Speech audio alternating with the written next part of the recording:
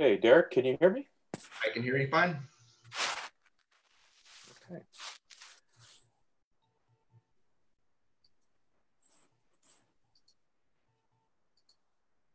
All right.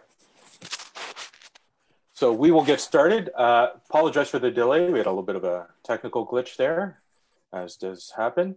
Uh, happy to have you guys with us. Hopefully, um, where you are is a little bit better than the kind of weather we're getting here in Toronto, Canada. It's a little uh, overcast, doom and gloom. So, uh, but on the contrast, we got a guy lucky to be in Florida where it's nice and sunny normally. Uh, and uh, we're here obviously to talk about NAV TV products. And this is a particularly important session uh, discussing the Zen Audio product. Um, for those of you guys new to um, NAV TV or perhaps even who we are, let me introduce myself. I'm Dave Singh. I'm from Gemsen and we are the Canadian distributor for NAV TV products. Uh, we partnered up with them earlier this year and we're happy to be part of their team. Uh, presenting for us today is Derek Schmiedl, VP of NAV TV, and um, he's going to be taking over everything in a moment to discuss the Zen Audio product, which is uh, a full line of audio integration preamplifiers um, and uh, designed to make your life a lot easier in, in, in uh, many of today's challenging vehicles. I think by the end of today's session, you'll have a better understanding of why um, it's better to go with a preamplifier unit and understand what makes the NavTV products basically the gold standard of the industry. So if you do have any questions, I do ask that you send them in the chat. Um, we will be monitoring them and we will answer them accordingly as we go. We will continue to keep guys on mute, but um, if there is uh, any questions that we need to uh, unmute you for, we'll do that. So without any further ado, I'm going to hand this off to Derek and we'll take it from there. Thank you, Derek. Thank you for the introduction, Dave. Um, I'm Derek from NAV TV, and uh, today we're going to go Zen Audio. Uh, this is a, uh, a product that's been in the making since I joined the company a little over 12 years ago. Um, we started with one product, we're up to five now, and we've got three products that, uh, had it not been for this virus, we would have been released. I will show you one of those today. So let's see here Whatever reason my slide is not advancing. There we go. So we're just going to go through a couple of the topics here that we're going to talk about. Um, today is obviously it's about sound. So when I started in the early 80s, you know, the, the thing that we were selling the most of is head units. Why were we doing that? Because the OEM content did not have the features that the customer was looking for. Uh, late 80s, it was the CD player. Mid 80s, when I started, it was a tape player uh, that progression has gone on and on. We're at a point right now where the vast majority of OEM systems actually do have the content the customer is looking for. We're going to learn why digital preamplifiers are better than any other way to do this because they provide predictable results. Okay, they increase customer satisfaction, they reduce time. But most of all, that these solve problems that traditional analog solutions cannot, such as supporting echo cancellation, removing frequency limitations, and all pass filters.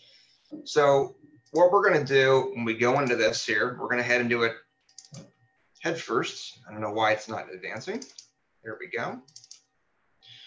Okay, the fact is, is that the majority of vehicles already have content that the customer wants. They just don't have the sound that they're looking for. So this is a prime example. If any of you guys are familiar with Brian Mitchell, uh, Brian's a great guy, a great competitor. He has one of the most amazing sounding cars out there. And at the heart of his system for signal uh, is the M650. Uh, Brian has now won three world championships in the Expert SQ Plus.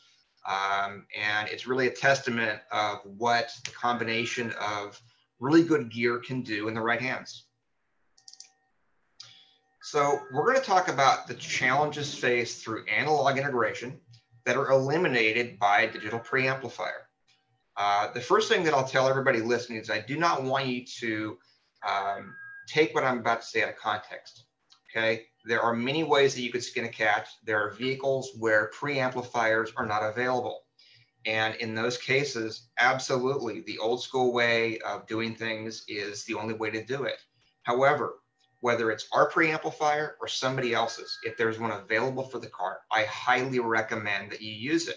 And there's a lot of reasons why, and we're going to talk about 10 of them. Hands-free echo cancellation. Okay, this is a huge one. When you converge a signal through analog means, what happens is you create a slight delay. And what happens is a lot of times you will get tremendous amount of echoes. Now in Canada and at least 17, 17 states in America, there are laws you have to use hands-free. Imagine your consumer's dissatisfaction where that five, ten, fifteen thousand dollar system now won't really enable them to use their phone while they're driving. Frequency limitations. We're talking about factory crossovers and everything else.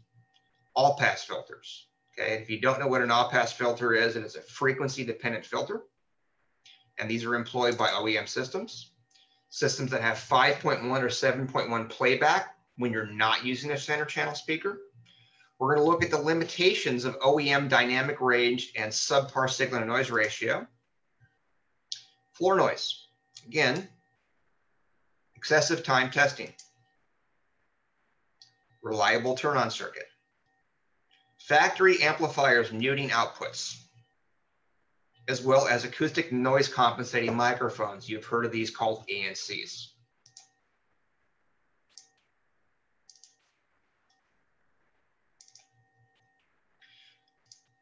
So first topic, analog circuits do create a delay in the audio signal. Okay, this delay can interfere with the factory echo cancellation of the hands-free systems, specifically with systems with very loud bass because they pressurize the cabin. They will affect the nature of the echo cancellation system and performance. By using a Zen Audio preamplifier, it supports factory echo cancellation. What it also does is something pretty unique to our devices. Only in a Bluetooth hands-free call, we are implementing a 200 hertz high-pass crossover. What this does is it eliminates the subwoofer from actually playing during a phone call. It, you cannot do that by any other means analog. It does not work. So just one of the few things that a preamplifier will do where you cannot get it through traditional means.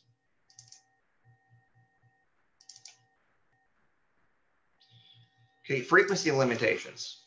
Okay, OEM electronics also implement crossovers, which limit frequency response. It can be a high pass, a band pass, or a low pass. And guess what? If all pass filters are used in an OEM system, you cannot converge multiple channels to achieve a full range signal. What it'll do is it'll leave a hole in your soundstage that you can drive a truck through. Zen Audio provides a full range output with no limitations, okay? It grabs the signal in the digital domain before the radio or amplifier performs the digital analog conversion, okay? All crossovers, all pass filters are eliminated which enables you to configure the correct new setting for your aftermarket products without any constraints. This right here, guys, is absolutely the number one reason to use a preamplifier, okay?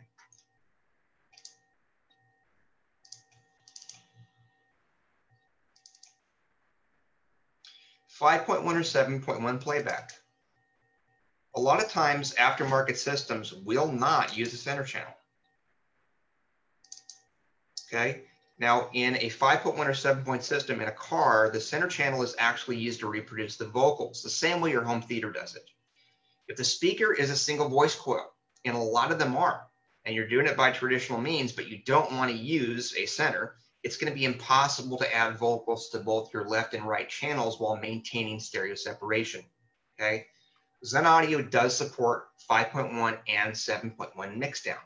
What a mixdown means is that we take the information that's usually played by the center channel speaker and we actually place it into the left and right front channels while maintaining stereo separation. Now, if the source is encoded in Dolby or DTS 5.1 or 7.1, and you want to use the center channel speaker, this then also supports that. So you would actually parse it. Kind of cool if you're listening to uh, DVDs and stuff. Okay. Now, the reason that this is two slides is I want you guys to understand the difference between dynamic range and signal noise ratio.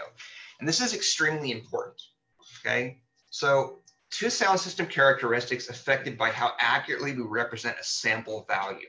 So the dynamic range is the ratio of the strongest to the weakest signal. Think about your Bugs Bunny cartoons where they have orchestral music that really, really low passes and all of a sudden really, really high or in rock and roll when it goes from a very, very light passes to a very loud one.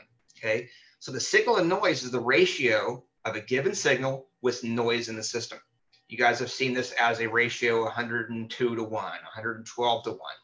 What that basically means is in the 102 to 1 is there's 103 decibels of signal. You have 102 decibels of sound to one decibel of noise. Okay. The dynamic range is limited at the lower end by the noise in the system, and every system does have noise. And at the higher end by the level at which the greatest signal can be presented without distortion. Okay, the signal to noise ratio equals the dynamic range when used when a signal of the greatest possible amplitude is present. It is smaller than the dynamic range when a softer sound is present. So if a system has a dynamic range of 80 decibels, a signal 30 dB below maximum would yield a signal noise ratio of 50 dB. The dynamic range predicts the maximum signal to noise ratio under ideal conditions.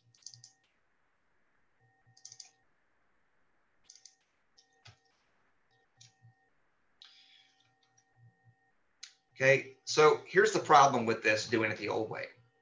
Most OEM systems employ a Class D amplifier which has been designed to minimize cost, space, and weight while maximizing output. This trade-off leads to a traditionally noisy output with excessive floor noise. Okay, the example, and this is a real one, guys, your $80,000, $90,000 Ford Raptor with a factory Ford A to B B&O sound system that has a signal noise ratio of about 87 to 1. Okay, to put that in perspective, that's about a $39 retail CD player. Now you're not going to use a $39 retail CD player in a four, five, six, seven, or greater value sound system. Okay. But what you need to take from this is that you can manipulate levels and you can deploy equalizers, but you cannot change the dynamic range of an OEM signal input. It does not happen. Okay. So how is this different? Zen Audio is actually converting the digital information to audio through an extremely high digital to analog converter and outputs a signal noise ratio between 112 to 1. That would be an example of the M650 or 123 to 1. That's the Zen M and Zen V. Uh, the A2B and several others fall right in the middle of this. And the most important thing to understand is that this meets or exceeds absolutely any aftermarket radio ever made with almost a zero floor noise. What this means is that it is no longer necessary to remove the head unit. In fact, you can build around, in many cases, the factory head unit in the vehicle and achieve the same results as if you were using top caliber aftermarket head units.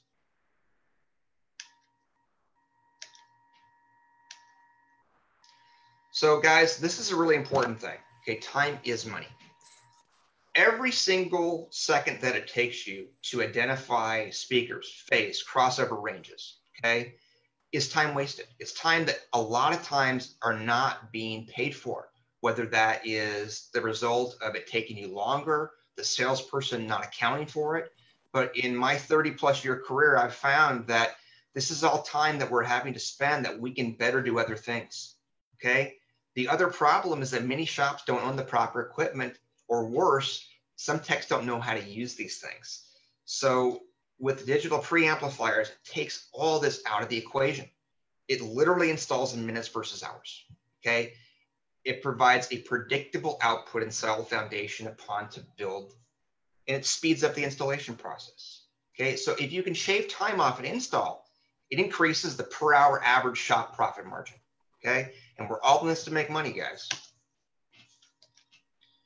reliable turn on circuit.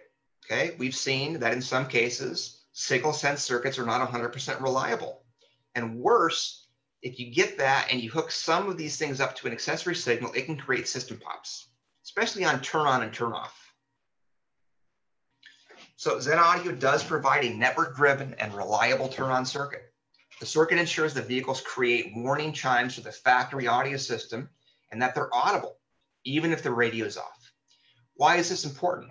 So let's take a 2016 Chevy truck, very, very common vehicle. We're not talking about a Ferrari or a Lamborghini here. It's a vehicle everyone on here sees every day. Their system actually uses the factory audio system to elicit chimes, warning chimes, turn signals, hood open, low engine oil, parking sensors. Okay. If your system is off, it's not getting the signal. If the radio's off, how are you going to get these things? The Zen Audio compensates for them and allows them to pass through, even if the radio is all the way down or off.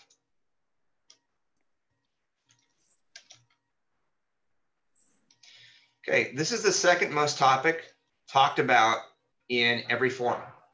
The fact is, is that a lot of vehicles out there are using amplifiers that are looking for a proper load on the OEM speaker. Okay, it's a protection feature. And what it does is that the amplifier sees a load, whether it's too low, too high, or fully open, what it will do is actually it will cut off that channel. It'll mute the channel. Now, this leads to customers coming back saying, hey, I keep losing audio. And it's a huge question because installers are having to guess what impedance do I use? What resistor, you know, work value, what wattage value do we use? And I'm not kidding you, get on any of these audio forums. I don't care if it's uh, Mobile Electronics uh, Syndicate, if it's the 12 Volt Insider, many, many, many more. You could, you can have installers from all over the world asking, what value resistor do I use on this Chrysler vehicle or enter brand name here so it doesn't mute?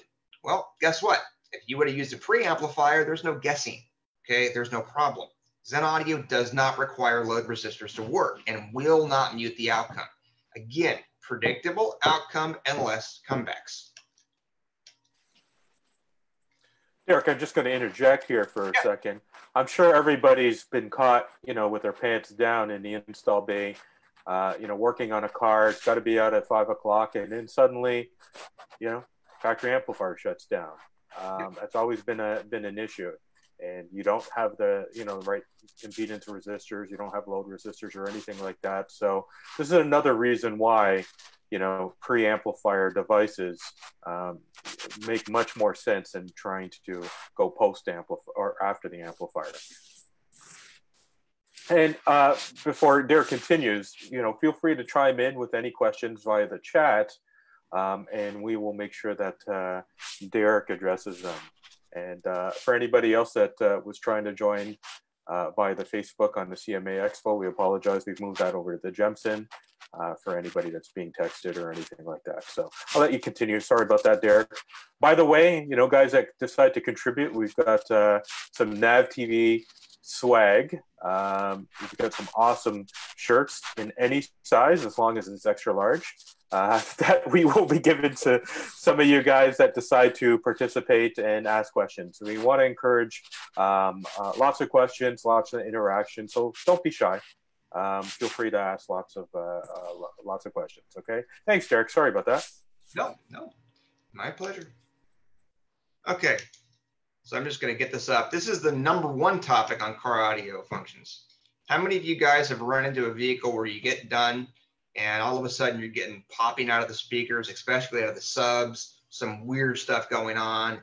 Everyone is going, oh, it's acoustic noise compensation microphones. Okay. What these are used for in an OEM system is to adjust audio levels as a result of environmental conditions in most cases. Okay. So an example would be I've got my windows up, I roll it down, I'm getting wind noise. What it'll do is it'll actually compensate in those frequencies that the wind is interfering. Just a small example of how these are used, okay? What most people don't understand is that in some systems, they're also used as a supplemental echo cancellation. So when you're having to cut these out of a factory system, you may actually deter the factory echo cancellation from working properly, okay? But where they really screw with things is in an aftermarket stereo system with bass. Okay, they have to be disconnected because they provide feedback noise and other problems. Now, this adds time to the job. It may affect the echo cancellation. Like I said, it's the number one topic on car audio forums. In fact, if you go on Educar, uh, just Google ANC microphone, and I think you get a picture of Ken Ward with a shotgun in his mouth. Um, with Zen, you don't disconnect any of these ANC mics, okay? This keeps all the OEM functions working perfectly and reduces labor time. So with the preamplifier, another really good reason why to use these things. So we've learned about the challenges in traditional things versus preamplifier. So what I've got in front of you, this is a 2019 Audi. And uh, I want you to take a look at what's in this dash. Okay. This thing plays DVD movies. It plays USB files. Okay. It does iPod. It has satellite radio. Okay. It has Bluetooth. It has navigation. Are you ever going to get this customer uh, to change this thing? The answer is no. Okay. It is no. Okay. Corey Valancourt. Can a Zen piece be installed in the vehicle without OEM amplifier? The example he gave is a 2019 VW Atlas, non-fender. The answer to your question is yes. We sell a programmer for the Zen V and for the Zen M. With the Zen V, there's no stipulations. Uh, with the Zen M, there, there is. You need to make sure that the radio itself codes over CAN instead of Ethernet. But on VW, we sell a tool. It's called the Zen V PRG. And if you get a vehicle without a factory amplifier, it must have the MOST 150 system. So that would be a radio with designator MIB, MIBHS, MIB2, MIB 2.5, or MEB3. Okay. It will actually plug into the OBD, it will recode the radio, and it will turn on the fiber optic output.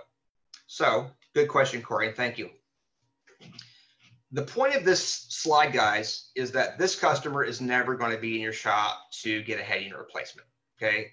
Everything is in this car they're ever going to want to need. But they're going to come on and they're going to say, hey, you know what? I bought the B&O system or enter, you know, a branded name here, and it just doesn't have the fidelity or the volume or the bottom end that I'm looking for. So let's take the next slide. And uh, guys, this is the challenge that you're working with in this car. 20 three speaker system. Now, it's got the ability to play DTS and Dolby 5.1 and 7.1, and it's got stuff all over the place. How do you tackle this animal? So I actually went through this particular car and I pieced it out for you. So we're going to look at this from an old school traditional side. Okay, first thing is you cannot use an inexpensive line converter because this is a high voltage amplifier. Okay, we're talking high 20s into the 30 volt range in some outputs. If you use a cheap line output converter, you will have a customer coming back with problems in a couple weeks. If they listen to rap, a couple days. Okay, they will melt the things. You have to retain the center channel for vocal playback in both 5.1 and 7.1. Okay, so there's no option to delete that speaker. You're having to use another channel. The system has all pass filters and it's frequency dependent. So guess what, guys? You have to pass any channel with an all pass filter straight through. It has time alignment per channel. What happens if, for example, you want to do pillar speakers where you're actually moving the location of the speakers? It becomes a problem. Okay, you have factory crossovers. So let's just say that um, we'll use a good speaker. Let's say a C7 JL Audio, pretty good speaker. Okay, and you're going to see your factory system has the six and a half inch in the door that limits that speaker only to be able to play down to about 100 hertz, but only up to about a thousand. And then there's a four inch that takes over. How are you going to get that two way system to play that range? Okay. It, this thing does have an array of ANC microphones that has to be bypassed. The factory echo cancellation will absolutely be compromised okay? Because it has all pass filters, you cannot converge channels for a full range signal. What this means, guys, is that you're having to use multiple channels of amplification, which increase costs. So in this car, what we found when we evaluated it, you have to pass a minimum of 13 channels independently, okay? That is a lot of channels. So that would be 13 channels of amplification, plus let's say an audio control, two LC7s. Do the math on this, guys. Okay. Now, after all this work is done, after all these limitations, it's got a really noisy Class D amplifier in this car. Okay. And again, you can equalize the audio. but you cannot improve on the dynamic range of the input signal to your aftermarket electronics. So it's a huge limitation. And it took me several hours to look at each of these signals, so it is time consuming. You'd be better off putting something in you can do in a few minutes that again, and you see it throughout this presentation, predictable outcomes, guys. So we're going to jump in and we're going to start talking about the individual Zen Audio products. And we'll start off at the very beginning. But what all Zen have in common is a literally no holes barred, high component quality. Okay, we did not set out to build the best Zen Audio piece for a certain price. We literally set out the same way that Pioneer did with ODR, the same way Alpine did with F1 status, the same way that Sony did with their high resolution head unit, which is about $1,500. And we said, we don't want to build anything but the absolute best. So we chose the best components and build quality and the actual tonality what really sets NAV TV apart from our competitors when it comes to digital preamplifiers. You'll notice the catchphrase, Burr Brown. There it is. We are using all high quality components without compromise. The digital to analog converters are Texas Instrument, Burr Browns. Okay, how are we able to do this? We grab the signal in the audio path in the digital domain. Okay, we're actually becoming the digital to analog converter internally. This is what allows us to take the example of I gave you of a Ford with an A2B system where the factory amp is only 87 to 1. Well, how are we able to output 116 to 1? It's by doing the, D- the DAC previous to that. So we are doing the conversion. We're not relying on the amplifier or head unit to do it for us. Okay, we are 100% compatible on all Zen Audio products with factory Bluetooth echo, echo cancellation. This is really important for doctors, lawyers, real estate agents, or anybody throughout Canada since it's uniform law up there. Okay, it eliminates all factory crossovers, timeline equalization, and all pass filters, guys. We bring it right down to the foundation for you. So you have a flat, unadulterated, multi-channel process to work with in very little time. Okay, the signal to noise ratio literally is between 112 to 123. You'll see these on each of the examples of independent products that we bring. Okay, and it installs in minutes. And again, guys, verifiable and predictable outcomes. And this is a pretty good one. We'll downmix vocals from the center channel into the street left and right channels when not utilizing the center channel. And we are competition proven. So the first of the line is the M650. This is for the Most 50 platform from General Motors, Chevrolet, and GM. Derek, before we get into this product, yeah. uh, I know we got some newbies on this, and I just want to reiterate a really important point that you were just talking about, um, which is, you know, um, you can, if you want, take LOCs like Derek had mentioned. Uh, you know, we we supply a bunch of them, et cetera, et cetera, and try to reverse engineer what's happened. Um, but with everything that Derek said, ANC noise cancellation, um, all the other problems that you run into, each one of these manufacturers would all recommend if you have the choice of going with a free amplifier device, you're better off doing that than trying to reverse it after the amplifier. Okay, so we're not saying don't use this, but what we are saying is if you have a choice, you're better off doing that. It'll save you time, it'll save you money, and a lot of grief and things that you probably wouldn't be able to solve, uh, you know, using LOCs and, and whatnot. So I really important point. I just wanted to stress it for anybody that, uh, you know, wasn't clear on that. Sorry about that, Derek. No, no, look, you made the same point I made earlier, guys. Um, there's a million ways to skin a cat. Uh, but if a preamplifier is available for the vehicle, it will save you time, frustration, and look, no one likes comebacks, no one likes problems. So, you know, in, in a perfect world, it would never happen. We try to minimize it. Um, but some of the, the features of the M650, and by the way, guys, this is the unit straight off the shelf, no modifications. That's in Brian Mitchell's World Championship car. Um, it's also, believe it or not, the worst sounding of the Zen Audio products. So if that gives you any indication of the quality and the sound quality we're producing, Uh, it should. This unit does have a true 112 to 1 analog signal to noise ratio. Okay. Uh, we are processing a bare minimum of 24-bit 48K response, which is higher than CD quality. Um, we are using Burr Brown DACs, uh, 192 kilohertz, 32-bit. Now, the question I get all the time is, Derek, why are you limiting this to 24-bit 48K? Well, in GM vehicles, um, the 16 and on with CarPlay will actually allow 24-bit 96K. Um, the newer ones will do the same. Uh, anything that's higher in the CarPlay units, it will down convert. So if you're playing lossless in the system, it'll actually down convert. But the reason we do this is because we always intended on working with other companies who manufacture DSPs. And what we found is that overwhelmingly, the vast majority of DSPs out there will all be able to accept a 24 bit 48K. Uh, and that's why we limited it.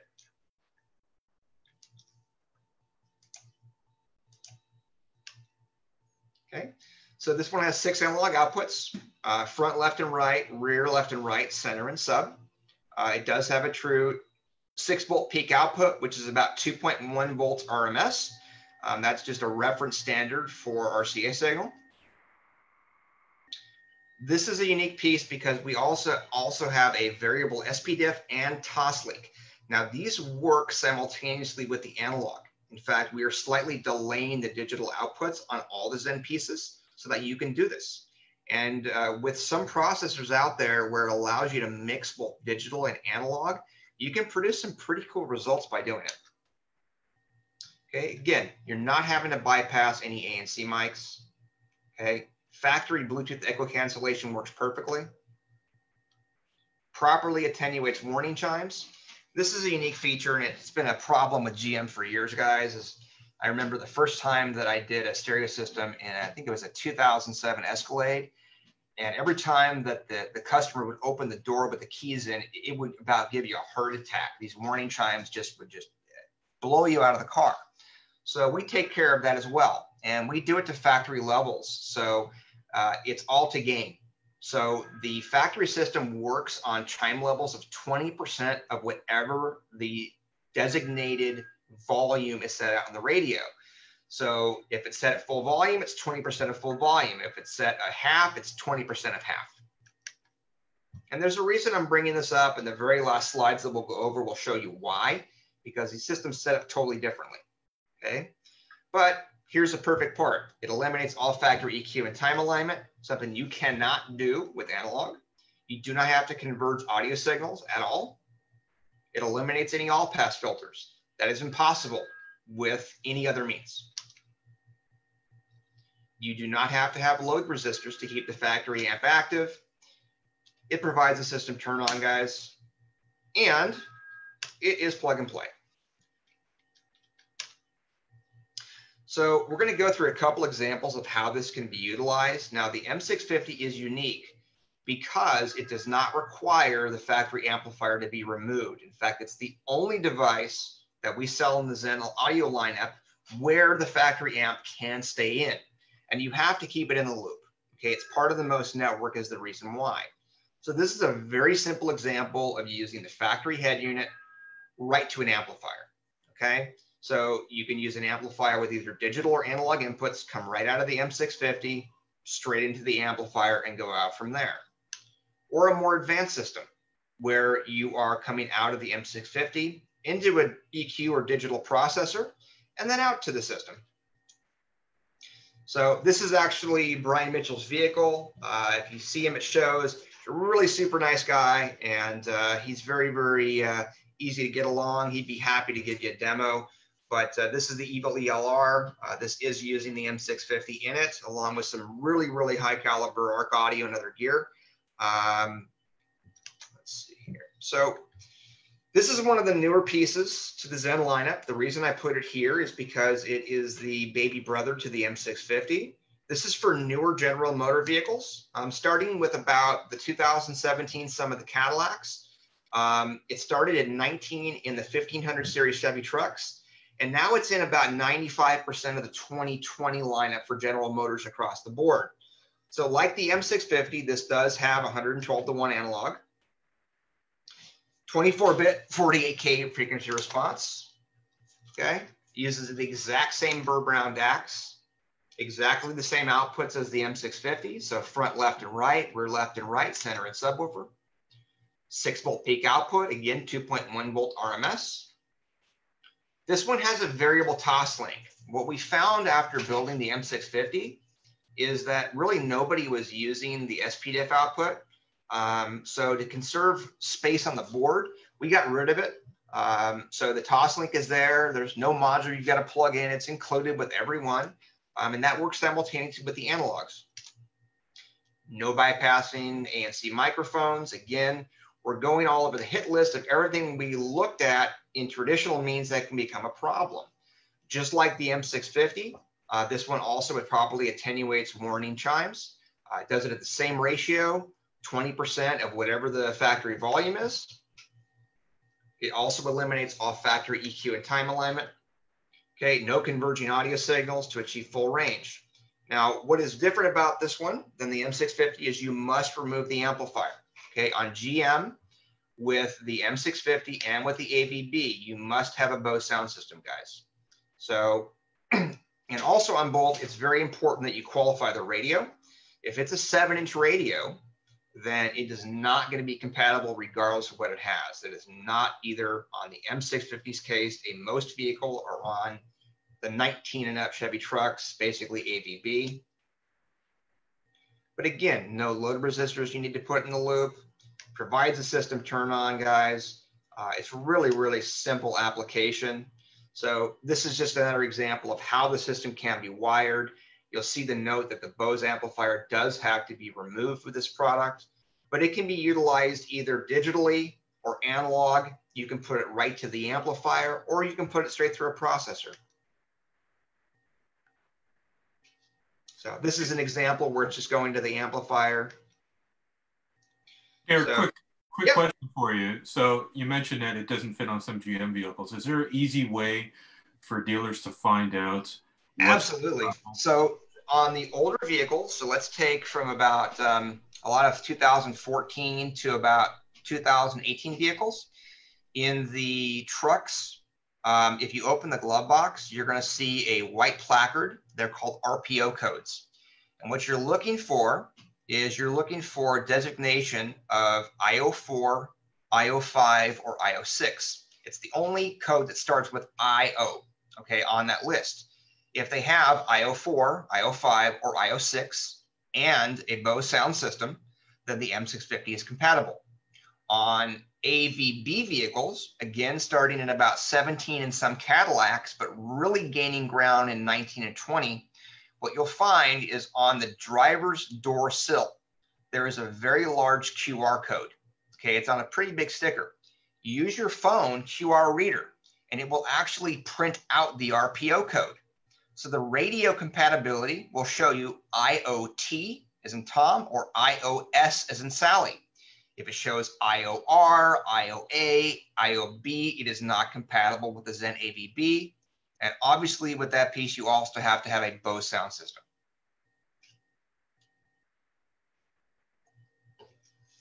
So the Zen V and Zen M, there's a reason these are on one slide, okay?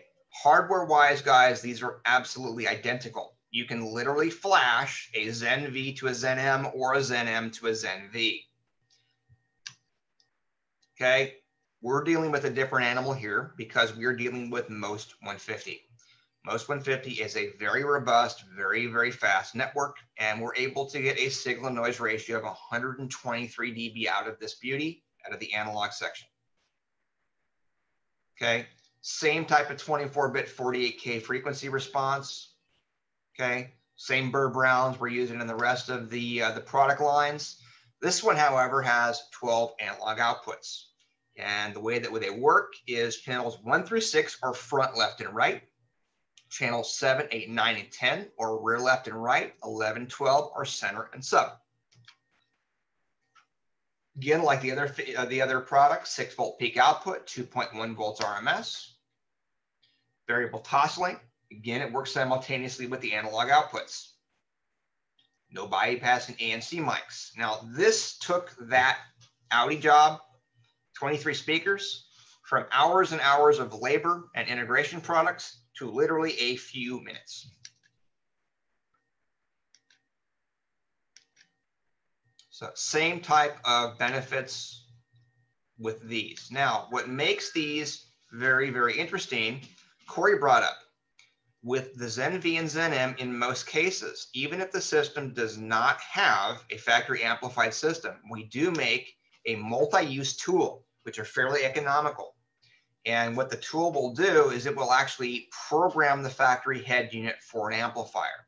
Now with the Zen V line, so that's Volkswagen, Audi, Porsche, Bentley, and 19 and up, a lot of the Lamborghinis, the 17 and up Urus. Uh, but it will actually turn that on so you don't have to have an amplified system. Zen M, on the other hand, the vast majority you can do it with. There are some radios. The designator is, I believe it's called an NR218 radio. That radio, as well as the new MBUX systems, programs through Ethernet. They don't program through CAN.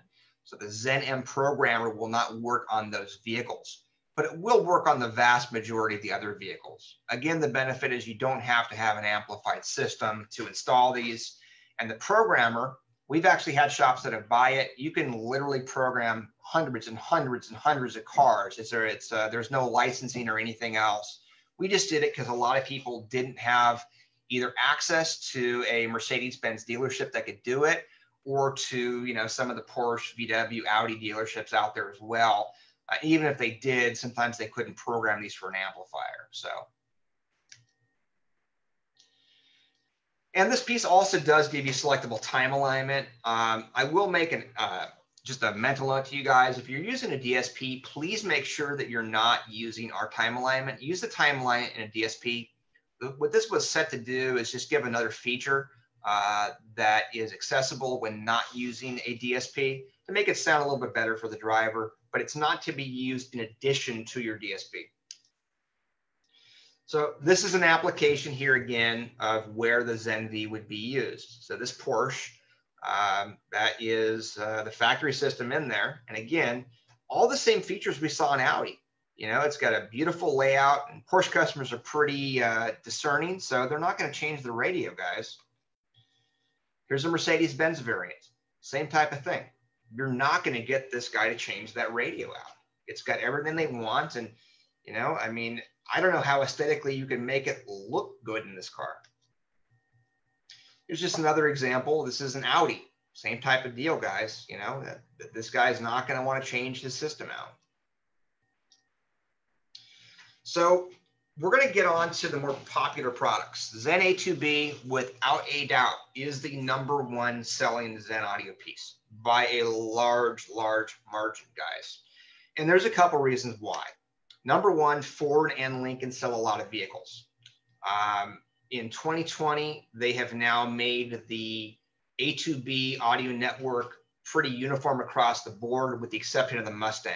Uh, you've got it in the Escape, you've got it in the Explorer, you've got it in now all the Super Duties with Bang Olufsen, all of the F 150s with Bang Olufsen. You've got it in the European market, and I believe in some trim levels in America, in the Focus, and other popular vehicles. So there's a lot of Ford vehicles being sold. But I'll tell you, the B&O sound system in these vehicles, or they call it Revel in Lincoln, just sounds absolutely horrible. It is literally the worst sounding premium audio system I have personally heard. So these guys are spending a lot of money on these vehicles. They want good sound and man, does this do it. Okay, 100. Yep. I just saw Keith McCumber give a big thumbs down to that B&O system. Yeah. not like it. Yeah, look, I, I, I, wasn't embellishing when I said when we tested it, it was 100, it was 87 to 1 was the signal noise. It, it really sounds bad. It really does. So it's a pretty easy sell. Um, this system itself goes in pretty easily. Uh, it's very, very similar to the rest of the, the products a little bit higher signal to noise ratio in this product than on the uh, GM products. Um, it's just because the A2B network has that flexibility. So like the Zen V and Zen M, it does have 12 analog outputs, um, six volt peak output, 2.1 volt RMS, variable Toslink like the rest of the line. You know, and again, the benefits, you know, not having to screw with ANC mics, supports echo cancellation. uh, configurable chime and alert pass, which is kind of a cool feature because this one does a lot more.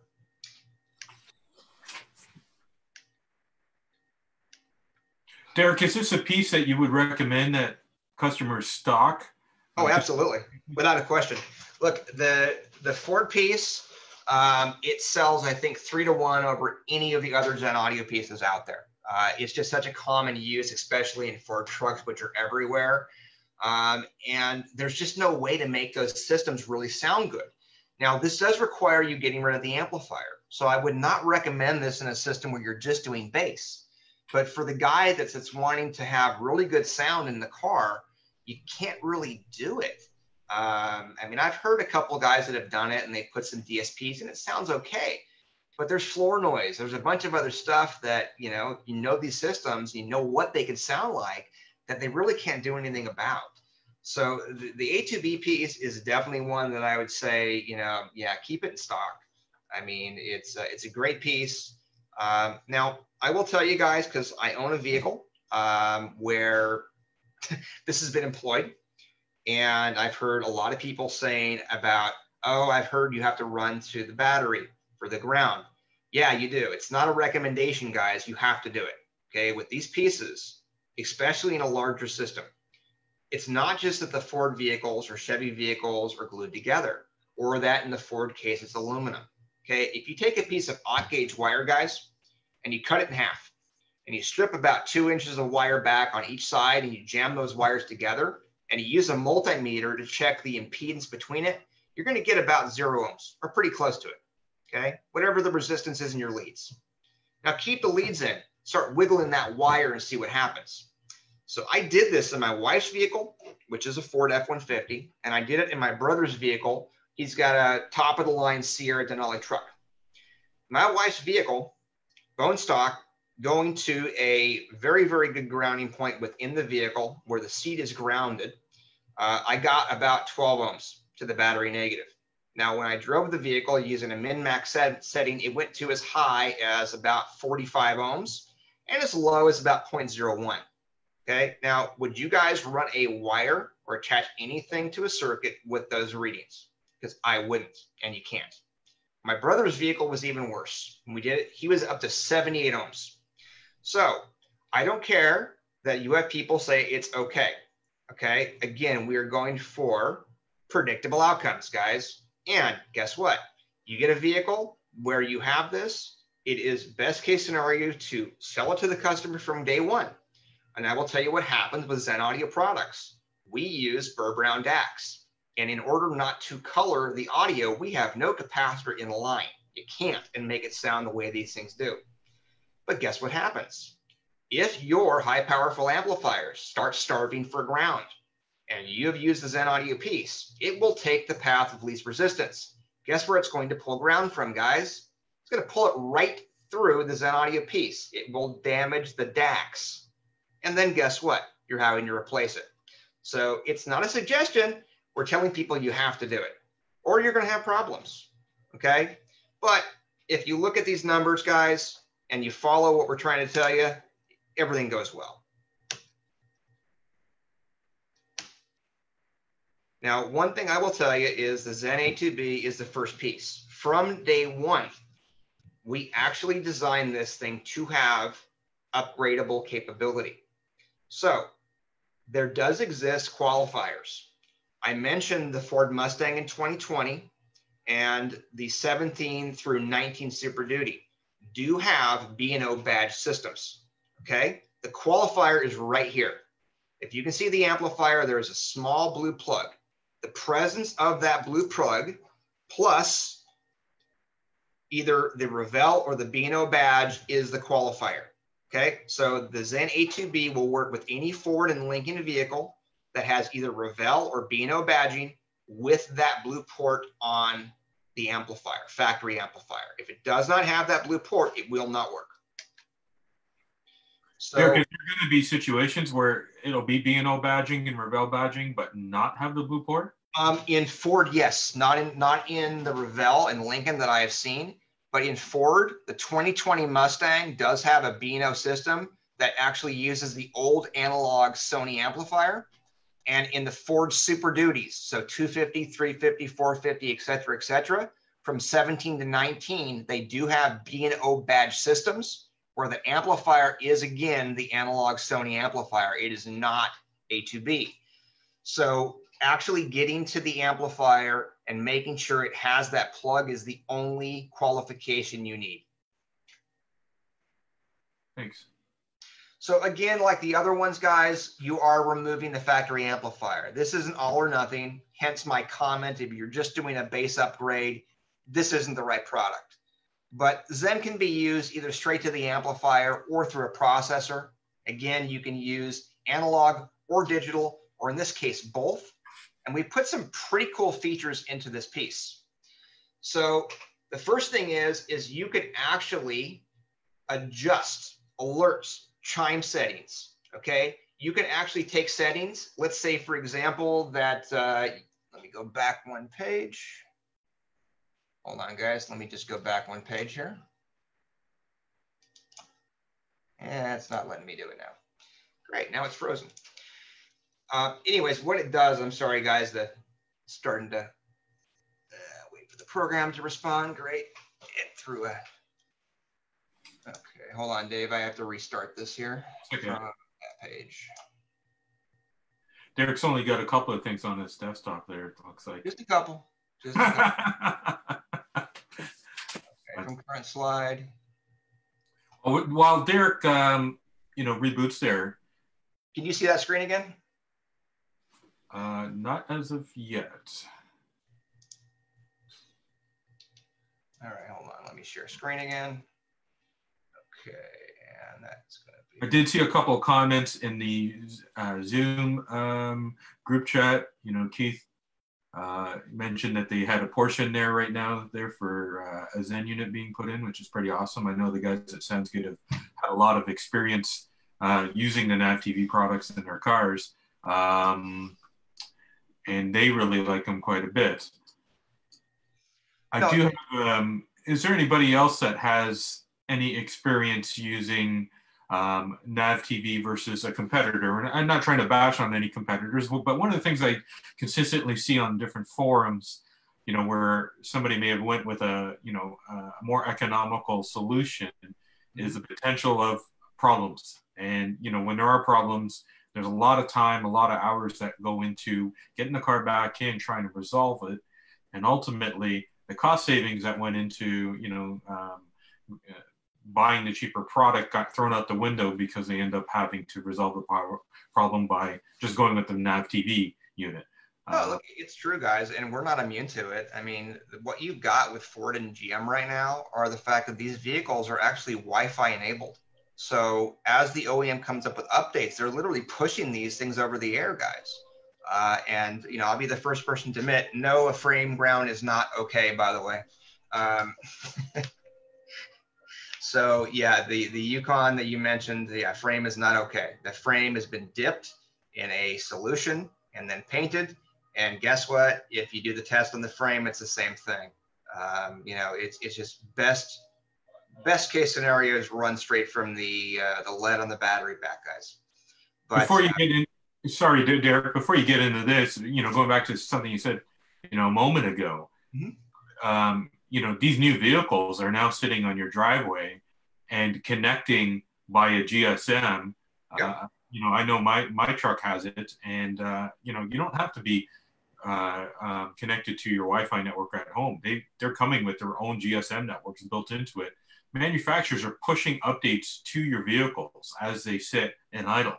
So how a vehicle behaved today could be different tomorrow, and those can cause issues. Um, sometimes, it's frustrating. Believe me, you know, a little over a year ago, um, the, the actual product we're talking about, we had a very stable product, and all of a sudden we started getting customers that would say, "Hey, I either took my vehicle to a dealership or I came out this morning, and now I'm having these weird issues."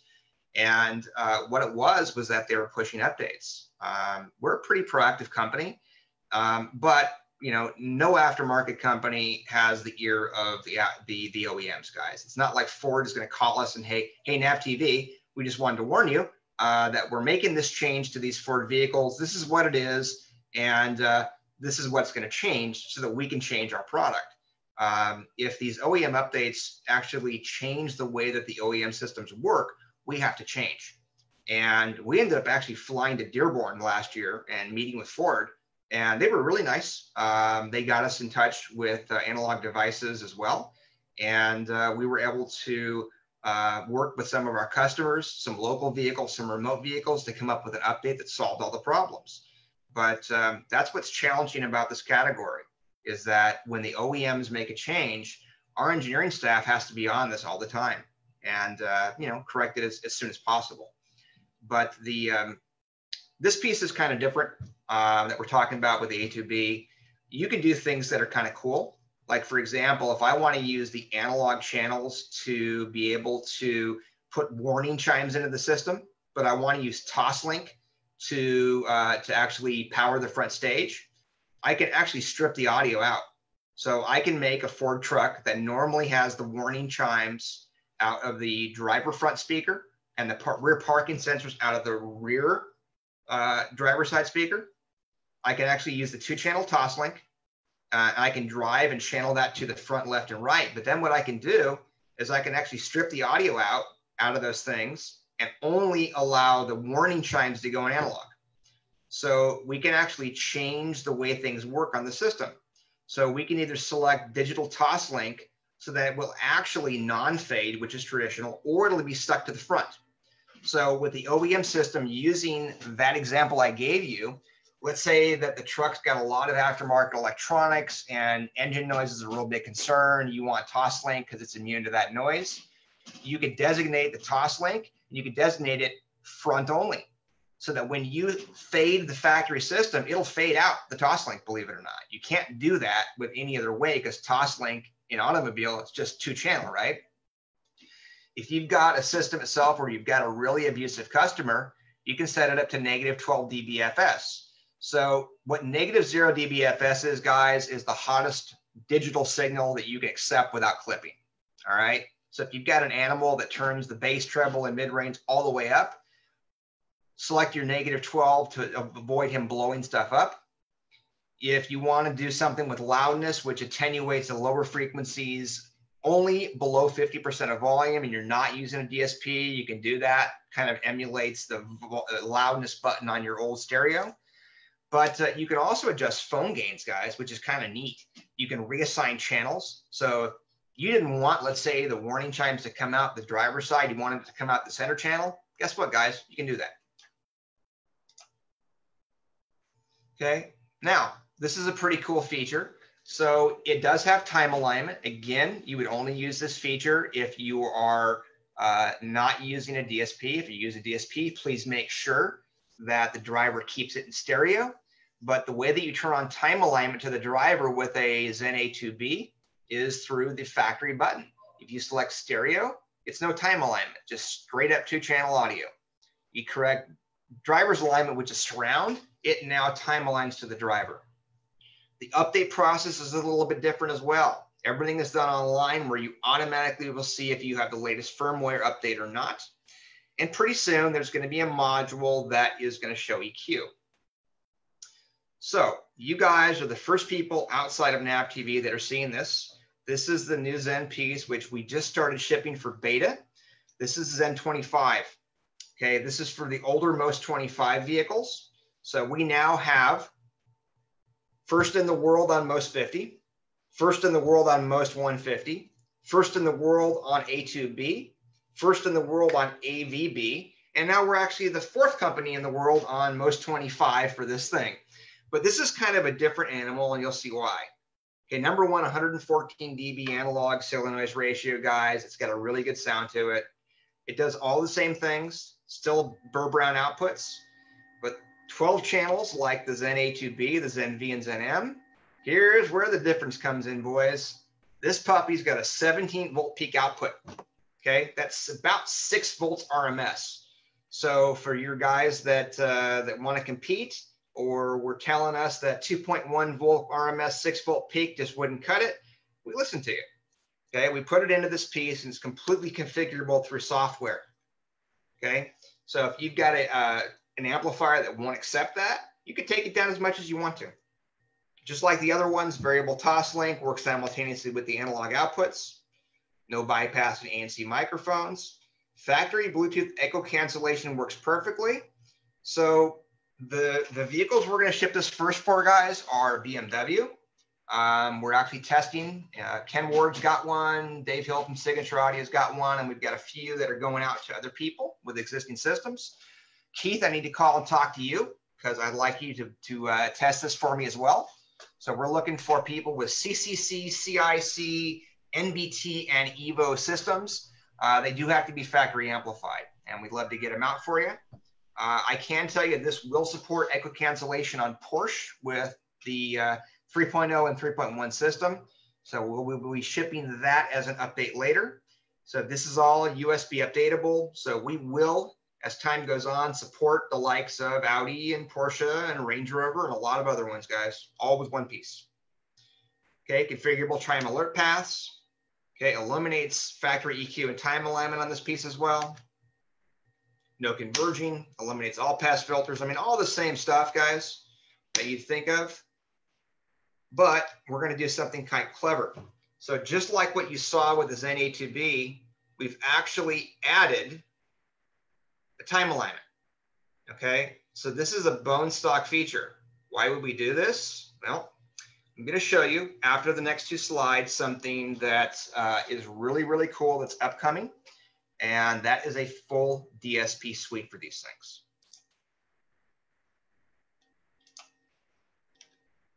Okay, these two slides are the two most important slides that we can pay attention to through this whole thing okay?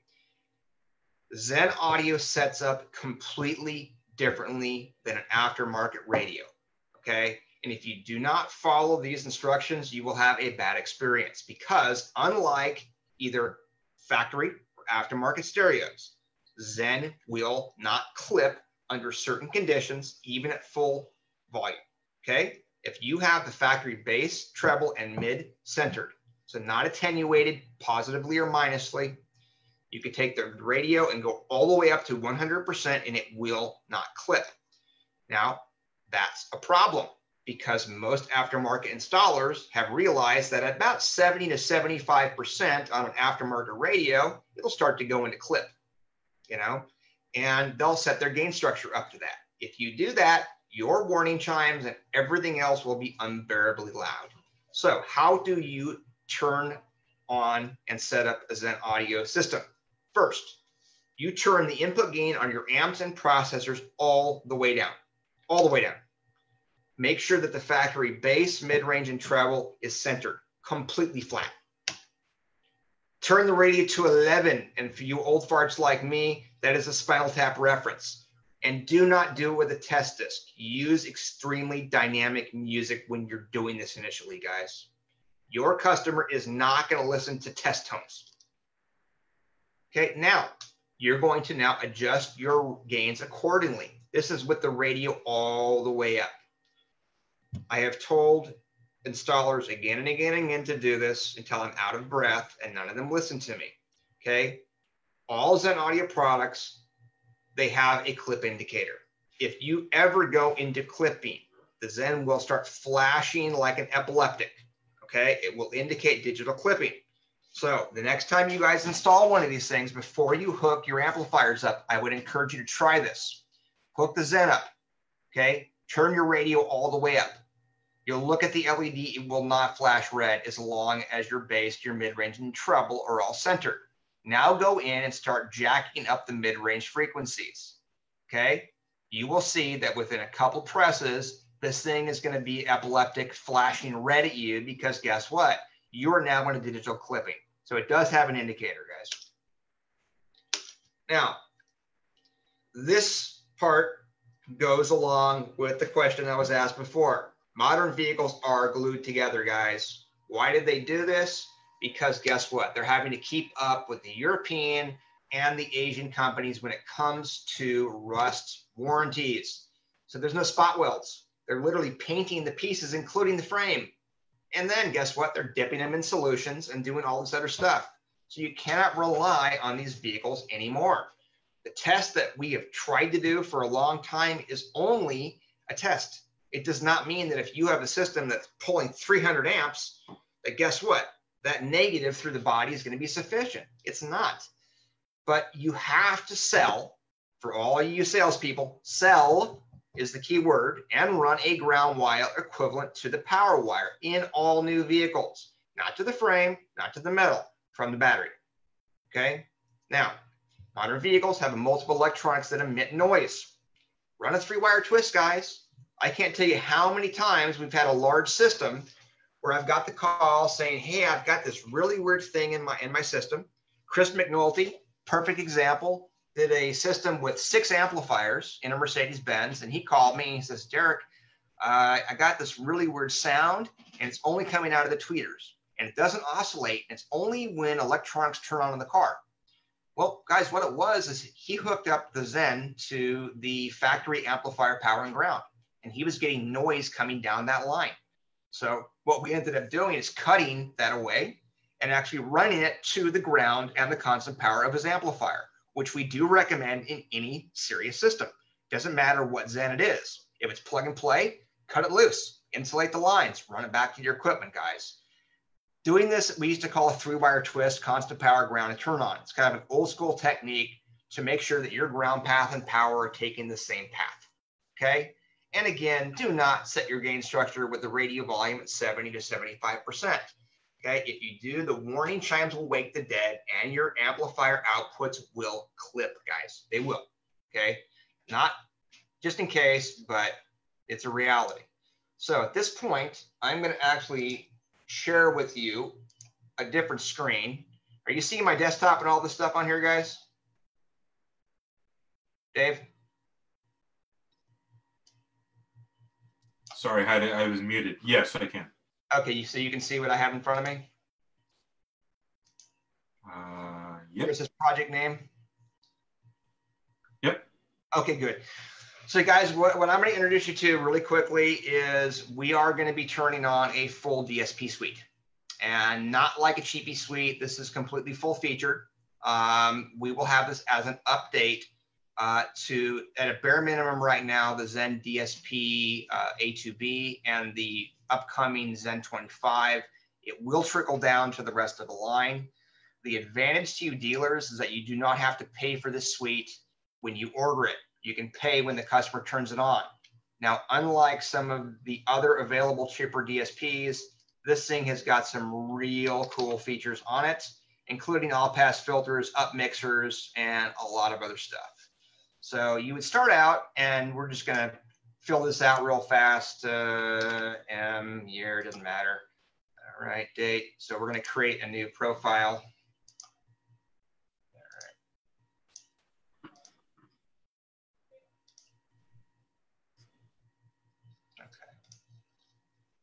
So I created a new project here real fast here. We just test file X5.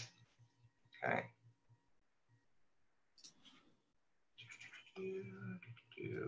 I'll create a new one for you. Project name, BMW test. File name, BMW test.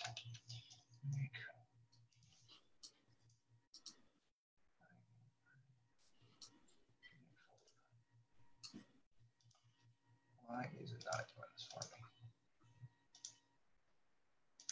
Continue loading. Okay. So once you get that in there, you can go to the output router. Okay, so what I'm going to do is, am I going to use an up mixer or not? Do I want to use all pass filters? I can choose multi-seat, on and off. Okay, I can actually define my digital output. So let's say that I want to do a four-way system in front. And then I want to do a full range in the back, or I want to do a three-way system in front. And I want to do a two-way system in the back. Am I using the center channel? So let's just say yes. Am I using the subwoofer? Used.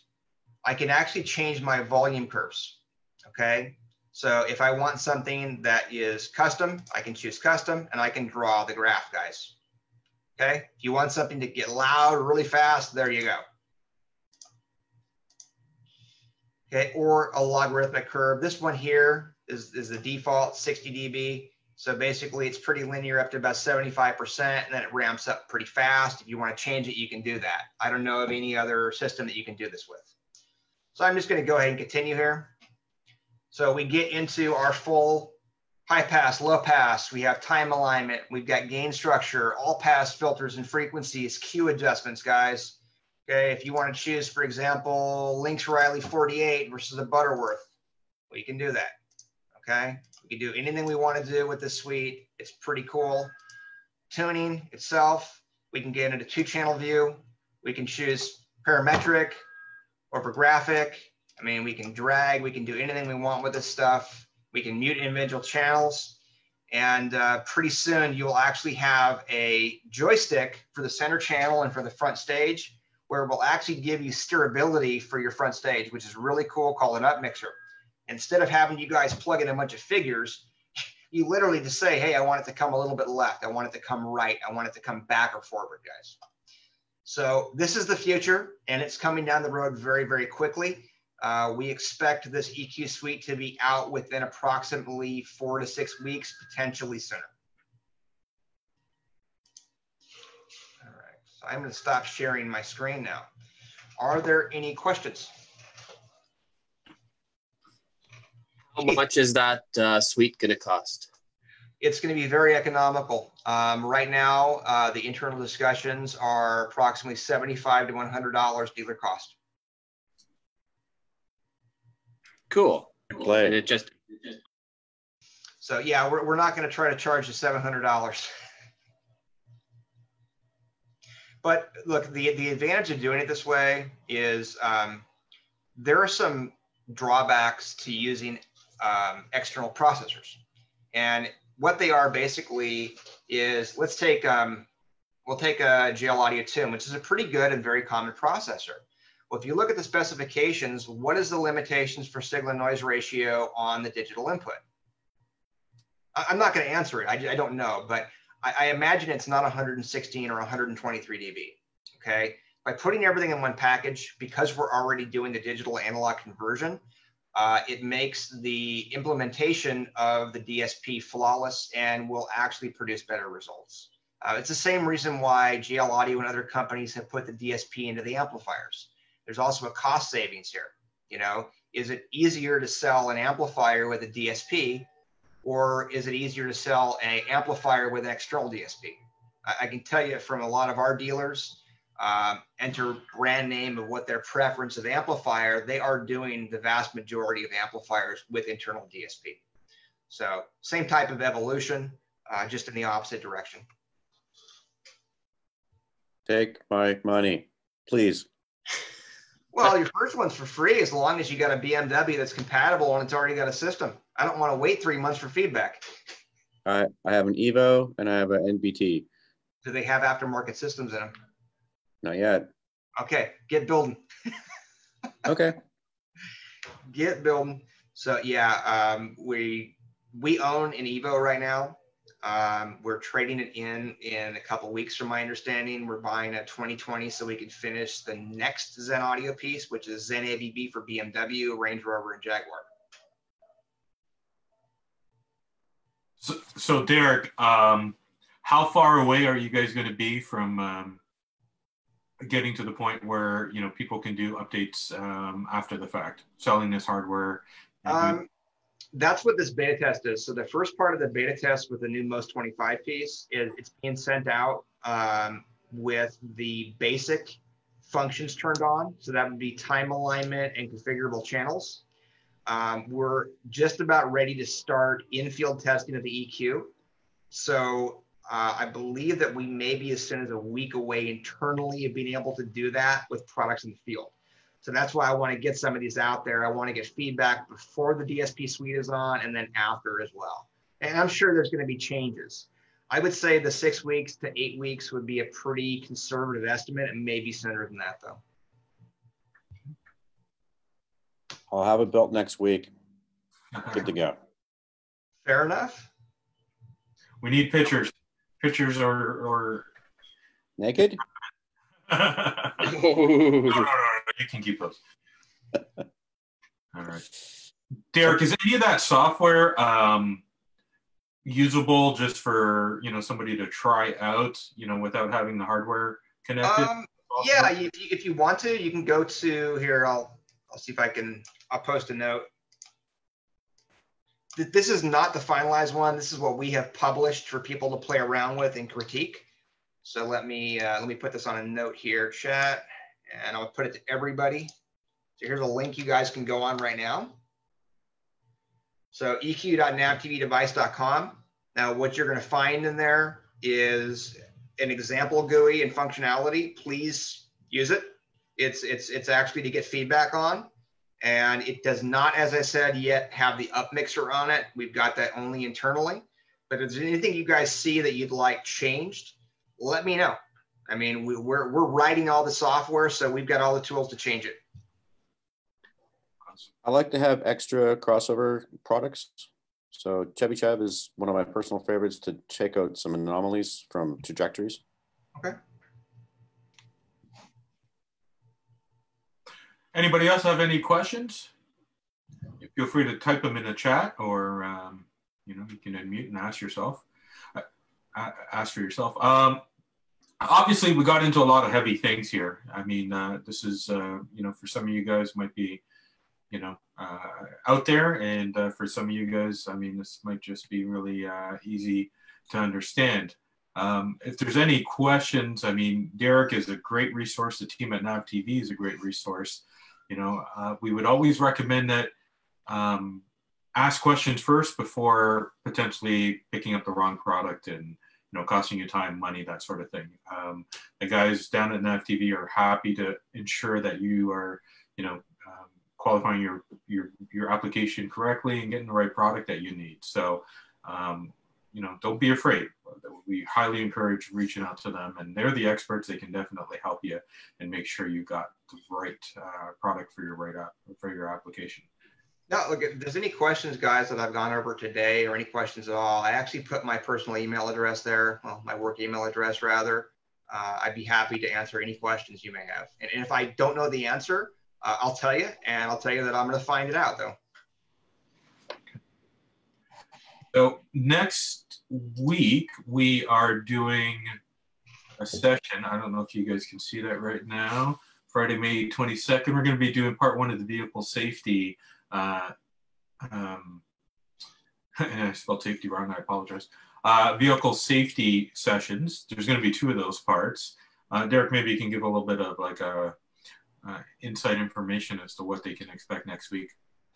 Yeah, but basically what we're going to look at is we're going to look at the uh, now because of uh, Ruby camera laws. The fact is is that we have 100% penetration into modern vehicles, uh, and that the OEM is still very far behind when it comes to adding additional features outside of rear view cameras.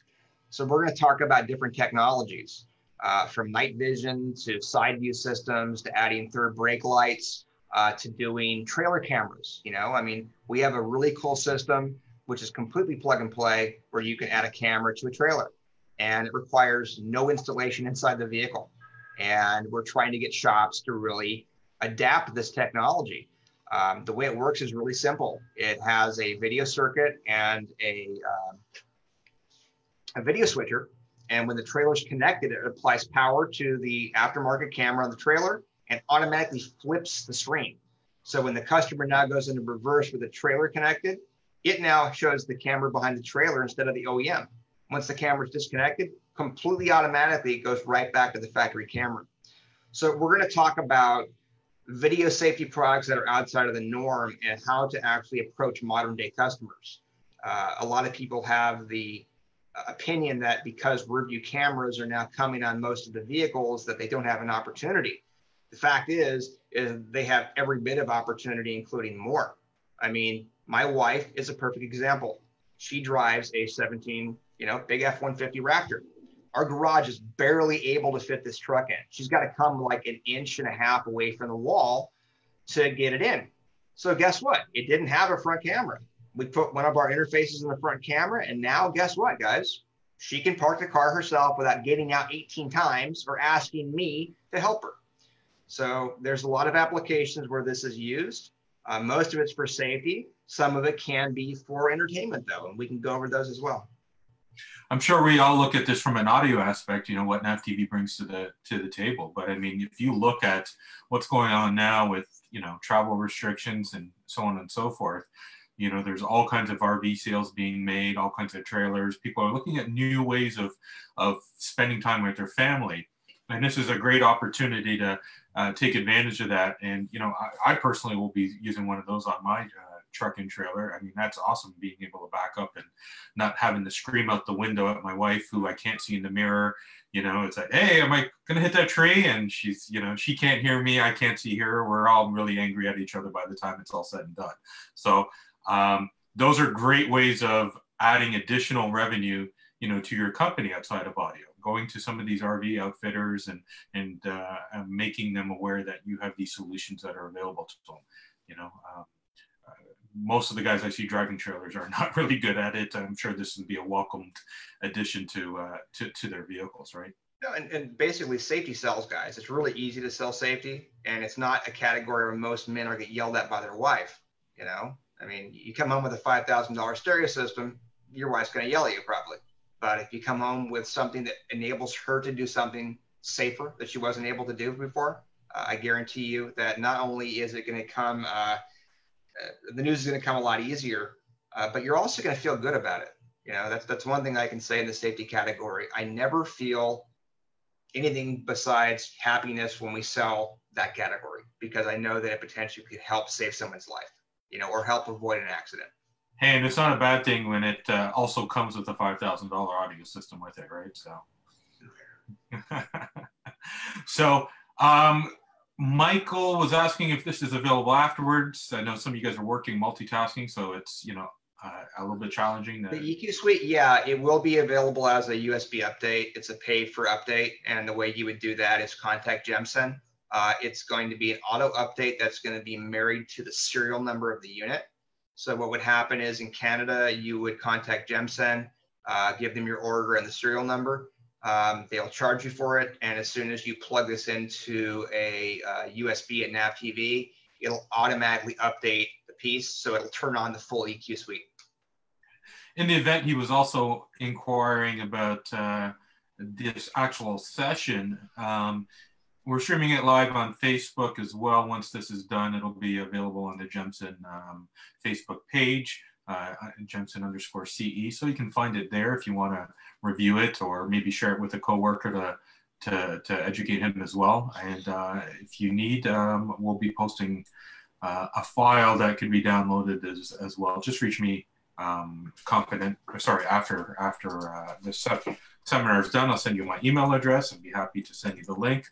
If there's no more questions, we appreciate you guys spending the additional time with us. We, uh, you know, spent about an hour and a half. We got started a little late. We apologize for that, but we hope that you guys got a better understanding of, you know, um, why the Zen audio product is, you know, the gold standard of the industry, why it's better than other products that are out there, um, what makes it uh, um, more cost effective in the grand scheme of things. You know, your labor's worth time, uh, troubleshooting, all that type of stuff. You know, things that that fall into the equation of costing you money when you can add one box in and not have to worry about you know figuring out wires and trying to reverse engineer things. It's a much better way of doing things. Plus, you have a great company like NavTV backing you up. You know, they've if you were on last week's session, you would have seen the tour of the factory where they're building the product themselves.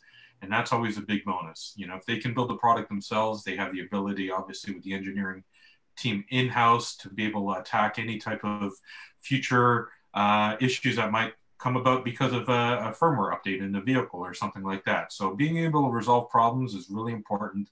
I'm sure you guys can all appreciate the fact of having that support should it ever get to you know, a situation like that. So if there is no more um, questions, we will. I got a question.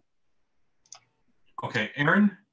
Uh, is the suite, the EQ suite, uh, is it controlled only through a laptop or is there going to be apps or is it going to create its own Wi-Fi network? You lo log into it and be able to control it? We're not going to do apps because what this thing is capable of doing, you can't really do on this thing. So it will be a PC. Yeah, we do have plans for a Wi-Fi network in the future, but the initial launch will be a PC because everything is housed on our servers. So Excellent. they'll plug it in the future. Okay, thanks. Yeah, awesome.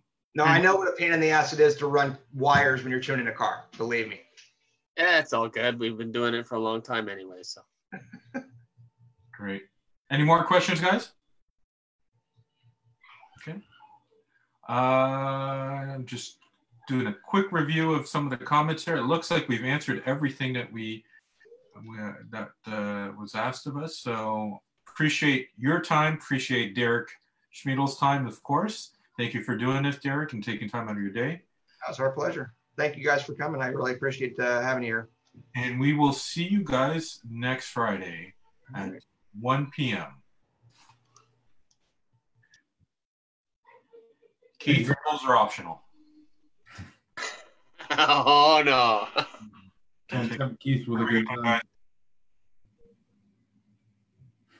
Fantastic. Thank you, Derek.